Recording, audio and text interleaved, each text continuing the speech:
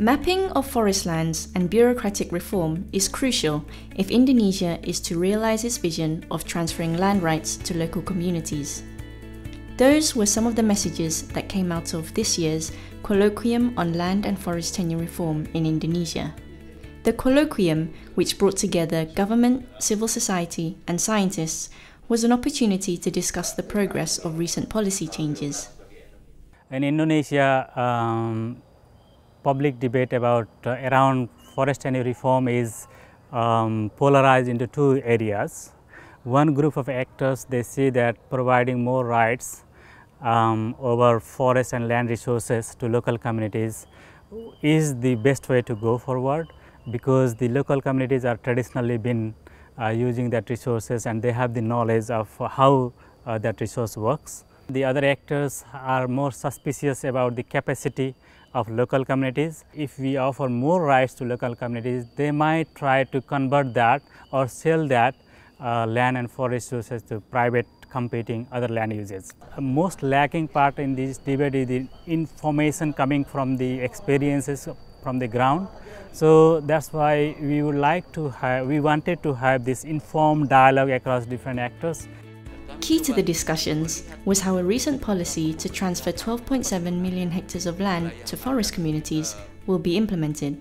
Pertanyaannya adalah bukan lagi soal apakah itu mungkin atau tidak mungkin, tetapi pertanyaannya bagaimana menjadikan kebijakan itu legitimate. Artinya, dia bisa diterima oleh semua pihak.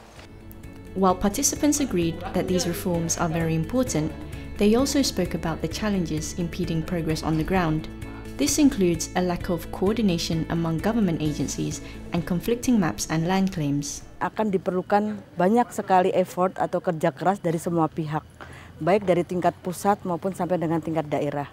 Bahkan juga di antara departemen ataupun kementerian yang ada. Masih ada uh, overlap kebijakan antara tadi kewenangan kabupaten masih direstui tanda petik masih menjadi wewenangnya kabupaten, tetapi di sisi lain ada kebijakan lain yang menyatakan sudah beralih pada provinsi. Nah kemudian kalau antar kementerian, saya lihat saat ini kita memang harusnya lebih banyak diskusi dengan mereka atau koordinasi karena di Indonesia saat ini kita punya dua peta sebenarnya peta hutan itu baik versi BPN dan versi kehutanan sendiri jadi kita tahu itu yang belum pernah klop sampai saat ini.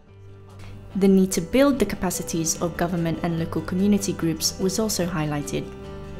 An important part of this is making sure research and experiences on the ground are feeding into policy processes to continue this type of um, colloquium of the dialogue was felt by everyone.